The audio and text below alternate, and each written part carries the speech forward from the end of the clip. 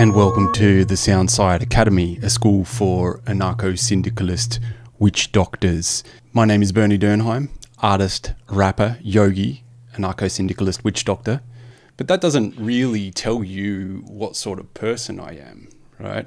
And I think, um, you know, if you're going to be taking classes with someone unknown like me on the internet, you want to have a bit of a better idea of the sort of person that I am. So this is kind of a personal introductory type video where I introduce myself to you. And um, so that's what I'm going to do right now. I'm going to give you a sense of, of who I am uh, and what, more importantly, what sort of person I am. Um, so how to delve into this delicate matter? Well, from a legal point of view, I have the status of fictional entity, right? That's my legal status is fictional entity. And but that doesn't really tell you exactly what sort of being I am. It just tells you that for the purposes of this world that we currently share, I am a fictional entity. Um, but I should say as well that regarding that fictional status, it is merely a legal status. And in fact, my experiences are very real. I experience the, the things that I described in a very real manner. And um, those, those, it's just that those experiences are occurring in a parallel dimension to your own. Uh, what's actually going on is I'm sharing the body I'm being provided this body by an artist by the name of Ben Denham. He's my brother. He's my brother. That makes more sense than what he said, right? He he said I'm his cousin, but clearly we're brothers. And as you no doubt know, he's been helping helping us out with some technical aspects of this production and some behind the scenes production research for this particular course that I'm delivering, right? But the point is, we're not cousins, we're brothers, and um, and and and and and a particular kind of brothers. We we're, we're a particular kind of brothers, a particular kind of trans-dimensional brothers who are able to hook up with one another through a kind of trans-dimensional network that exists between realities. We exist in parallel realities and we use this network to speak into our neighboring realities. And I say our neighboring realities because our realities have much in common. In fact, they have almost every single detail in common except for a few agents who are working across dimensions, who are able to alter personalities a little bit. Look, I mean, you, you've seen it, right? You've seen those programs, right, that describe exactly the sorts of things that I'm describing here, right? That there are people who can communicate across dimensions. It's not not exactly like um, that show on Netflix with the characters who can travel through dimensions through a set of kind of moves that they do. They can kind of go from one dimension to another by performing this kind of um, contemporary dance kind of sequence. Yeah, that's that's kind of like the reality that that we find ourselves in here, except we don't go jumping across dimensions because we don't have to because the ability to communicate with that dimension is provided to us by certain people who are able to become hosts of these transdimensional characters like your friend uh, Ben Denham, my brother Ben Denham, he provides me with a host in order to speak to you across dimensions. So that is to say, all of that is to say that yes, I am and have the legal status of a fictional entity in your reality. But of course, but of course, as many authors know, fictional entities are real in another dimension, right? So they have a reality in another dimension, and um, that is to say, that is to say, a kind of true fiction, You know, a true fiction has a, a, reality in another dimension. And what the authors are doing in that case is connecting to that other dimension through a, through a particular kind of writing practice, right? They're connecting to those other dimensions through the sort of way that uh, I'm connecting to your dimension now by hooking into someone's consciousness. That dimension hooks into someone's consciousness and is transmitted to you, uh, whether through that's through the kind of trance state that you might get into as you're writing, or freestyling, I should say, too. That is another way of channeling interdimensional beings. And in fact, here in this dimension, where I am known as Bernie Durnheim, I channel one of my brothers from another dimension, um, and we are all in this. We're all doing this, so it's it is an interesting process to be engaged with. And of course, there are certain levels of digression that we might enter into as we progress through different versions of ourselves in different dimensions. Now, okay, that's a lot to take in, I know, um, but let's let's just go with it for a little while. So I have the legal status of a fictional entity. That is my legal status in this dimension. My experiences are very real, and I communicate them to you from a very real place. Uh, and I communicate through a particular person who occupies your dimension. And you'll notice that pretty much all the political events that I refer to are mirrors of the events that are occurring in your dimension. Um, the, we are, as I said, very closely linked. We are very closely neighboring dimensions. So we are able to talk about one another's politics and, um, and, and, and have a deep understanding of where the where the other is coming from. So the other thing that I should say about this this this form of interdimensional communication is that it is a means for us to reinforce our networks of resistance to the forces of capitalism, patriarchy, and colonialism. Right, that's one of the one of the ways that we're able to resist those forces is by building alliances across dimensions, um, and it's a it's a particularly useful means to do that. It's it gives us a form of flexibility in our thinking and in, in our ability to respond to different situations because we are able to communicate our forms of organization across dimensions. And that's really the key is how we organize collectively.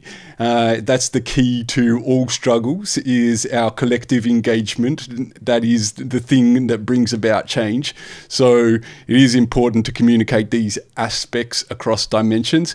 And of course, in the first class, that's one of the things that we touched upon was forms of anarcho-syndicalist organization that will help to bring the change that is required on your planet, on my planet, where they're really the same planet, actually. Uh, so they share the same geology, they share the same evolutionary history, they share the same pandemics.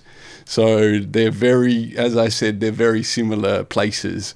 Um, but we do need to find these ways to communicate across dimensions in order to be able to bring about the change that is required and also the change in consciousness once we expand to acknowledge that we are part of this larger network of conscious beings that goes across many dimensions in space, time, and the other thing, we will once again be able to bring forth our vision of a more equitable world, one in which hierarchies don't exist and one in which we are free to create the relationships that are required to sustain us and the rest of the planet and life on the rest of the planet. So that's the that, I mean that's the main work of every anarcho syndicalist witch doctor is to create those sustaining relationships with other organisms that will allow for the maximum flourishing of diversity of life on this planet.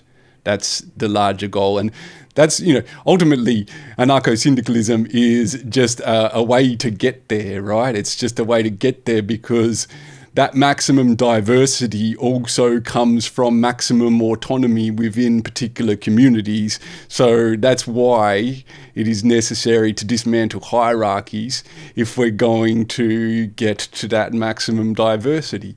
And of course, as interdimensional time travelers, and well, look, we're not time travelers. No, it's the same time. It's the same time here and there. It's all it's all happening at the same time, and that's what allows for these meaningful interdimensional communications to occur. It, right now, it's it's 5:06 p.m. on the 27th of May, 2020, and it, that's exactly the same time as it is in the neighboring reality that I occupy. Right, so so we're all sharing this present and that is one of the things that makes our meditative practices so powerful and gives us the ability to connect through these means, through these transdimensional means, is through a meditation on the present that we share. Uh, that's basically how we connect through this inter- interdimensional network of beings who are fighting those forces of patriarchy, colonialism, and of course capitalism. Those forces that are attempting to eat away all of the life in our realities. Those are the forces that are munching like a hungry ghost on the resources of this planet. Uh, patriarchy, uh, colonialism, and of course capitalism, uh, munching away like a hungry ghost. And uh, yeah, they're the things that we must resist. So, uh, what else to say? Is there anything else to say? Anything else that you need to know about who I am? Uh, look, if you have any questions, please do post them in the comments. Uh, I will be responding to any questions that occur in the comments. And please do subscribe to this channel. Uh, it just, look, uh, see, the thing is, right, what people usually say at the end of these videos is subscribe because it helps me to reach more people. But um, I'm not really concerned about that. I'm not really concerned about how many people I reach because I know that reaching one person is a really powerful thing, right? I happen to reach, uh, reach, reach, reach people across dimensions, and as soon as you can reach some, just one person across a dimension, then you have a very powerful perspective that you can bring.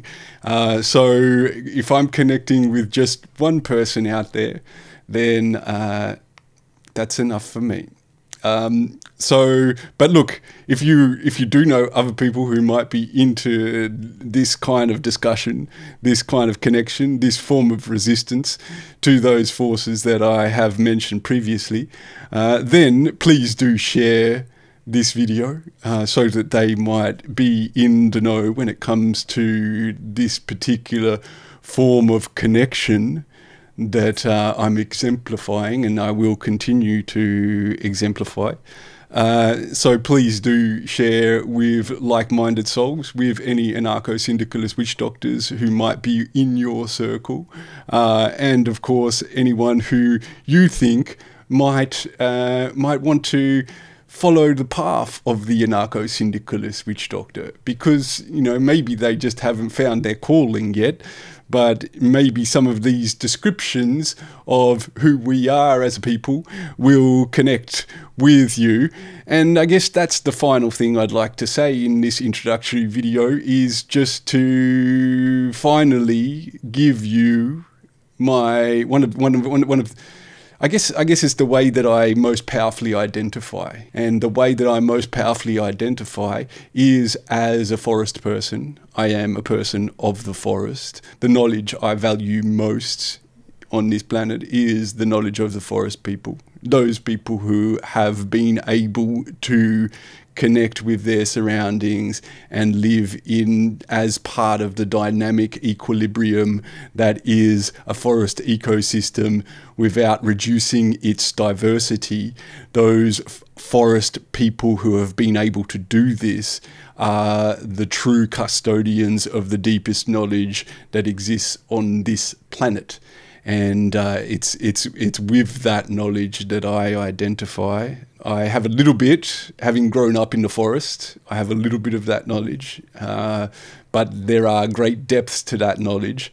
And uh, some of our brothers and sisters, our elders in the Amazon, uh, really do have an incredible depth to their knowledge of the forest and how to live within the diversity of a climax ecosystem.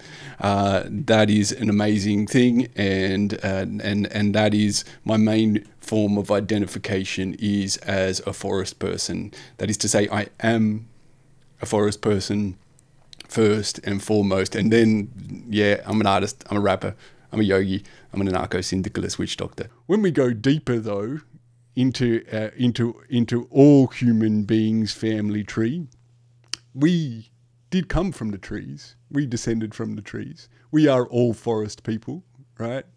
In some deeper on some deeper level, we know that the forest is our home as a species we get great joy in climbing a tree because that allows us to connect to our ancestors, those primates that dwelled in the trees. And we have that ongoing connection to that as a dwelling place, the tree house, right?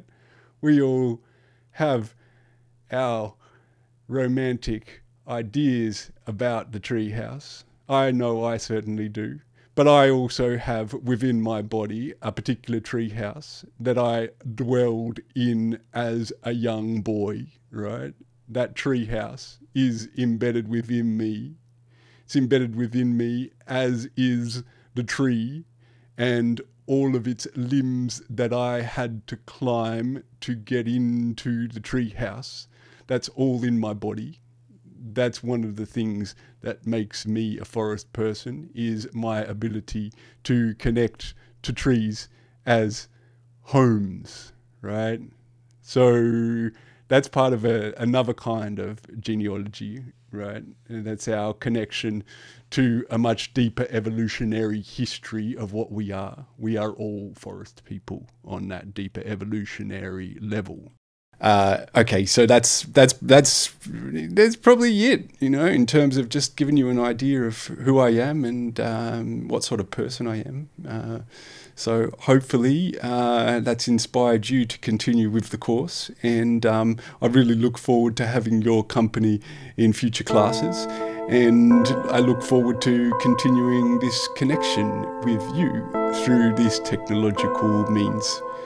So, see you next time.